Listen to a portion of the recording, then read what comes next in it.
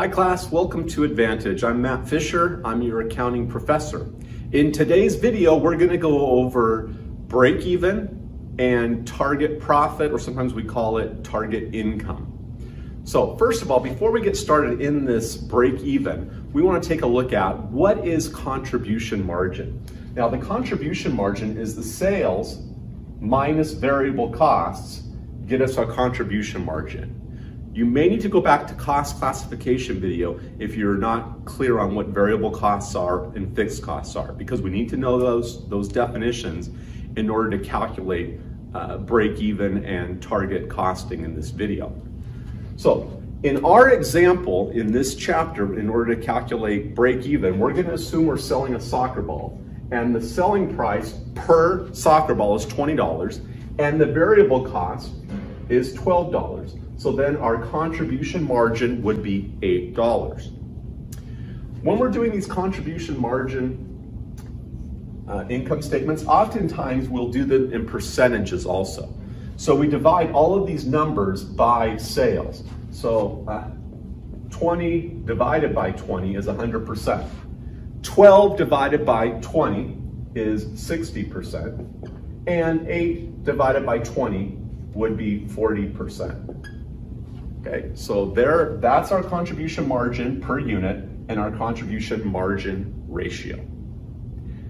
Now, we can calculate our break even. So I'm just gonna abbreviate here. Break even, B slash E equals, now this is called, this is the shortcut approach. We take fixed costs divided by our contribution margin per unit, okay? So the problem will need to tell you what the fixed costs are if you're doing homework. So the fixed costs in our example will be $80,000. Okay, so hopefully at this point, you know, without even calculating this, you could say, well, if my fixed costs are 80,000, and every time I sell a soccer ball, I have $8 left over, my contribution margin, then I can calculate my break even. It's just you would take your fixed costs of 80,000 divided by your contribution margin of eight, and that would get you 10,000 soccer balls. So you need to sell 10,000, and when you sell 10,000, each one generates $8 of contribution margin, so that would then cover your fixed costs. This is the shortcut formula. This is the one that I recommend that you use, but a lot of times textbooks also will show a, a longer approach. So let me just quickly show you what that longer approach would be. We would take our sales, total sales, minus our variable cost, minus our fixed cost, equals profit. So that's just a general profit formula here. Well, we know what our sales price is. It's 20. $20 times, now we have to multiply that 20 by X, meaning how many soccer balls we're gonna sell. Our variable costs, we know what the variable costs are, they're 12. But once again, we don't know the total variable cost because that's what we're trying to get, the total variable cost, the total sales. So we, for the variable cost, we need to multiply the 12 by the number that we would sell in order to have a certain profit.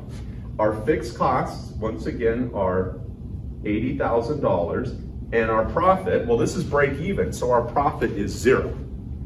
So now, let's move the 80,000 to the other side, so we'll add 80,000 to both, both sides of the equation, so that gets rid of that 80,000, we have 80,000 over here, and then we have 20x minus 12x. Well, we can consolidate that into just 8x. And then when we divide both sides by 8, we would once again get the 10,000 soccer balls, okay? So when you're calculating break even, you can just go straight to this formula, which is what I recommend. Or if you want to, this one also makes sense, and it would calculate the same answers, 10,000 soccer balls, okay? Now let's look at break even sales dollars.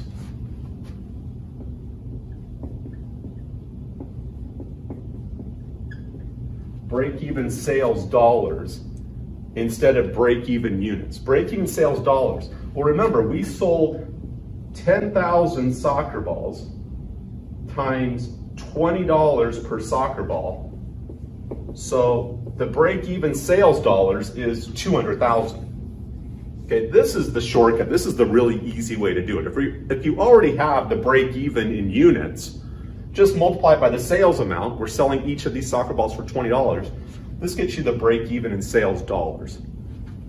If you want to do the break-even in sales dollars in the formula, then this is what we would need to do. We take fixed costs, we take the contribution margin, but instead of the unit, we're gonna take the contribution margin ratio. So we would take fixed cost 80,000 divided by, well 40% is 0.4. And that would get us, once again, $200,000 in sales that we would need. So either way is acceptable. And more than likely, if you're working on homework, they're gonna ask you to calculate the break even per unit and then also break even in sales dollars. Let's move on to target profit, or sometimes they call it target income in the textbooks.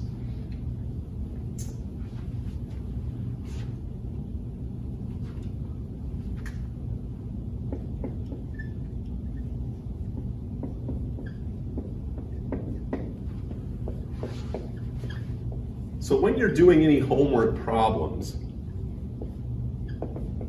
there are certain things that need to be given. They need to give you, you know, when you're doing break even and target profit or target costing, um, target income calculations, uh, they need to give you this information or give you enough information so you can back into this. You need to know what the fixed costs are, and if you're calculating a target profit, you need to know what the target profit is. So in our example here, our target profit will be $40,000.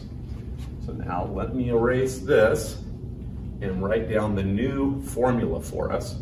If we're doing target profit in units,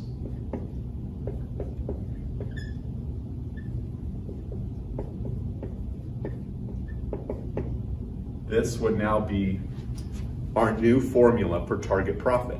It's gonna be the fixed costs plus our target profit divided by the contribution margin. So maybe you've already calculated in your head, maybe you've already seen what I'm doing here. My fixed costs are 80, my target profit's 40, so fixed costs 80,000 plus target profit of 40,000 divided by, every time I sell a soccer ball, I'll have $8 left over. So then this is 120,000 divided by eight, which gets us 15,000 soccer balls. All right, so to achieve a target profit of 40,000, then we need to sell 15,000 soccer balls. All right, class. I hope this has helped. We've gone over uh, break even in units, break even in sales dollars. We've gone over the contribution margin at the very beginning of this video. And at the end of this video, we just went over our target uh, income calculations. All right, I hope that these all make perfect sense to you.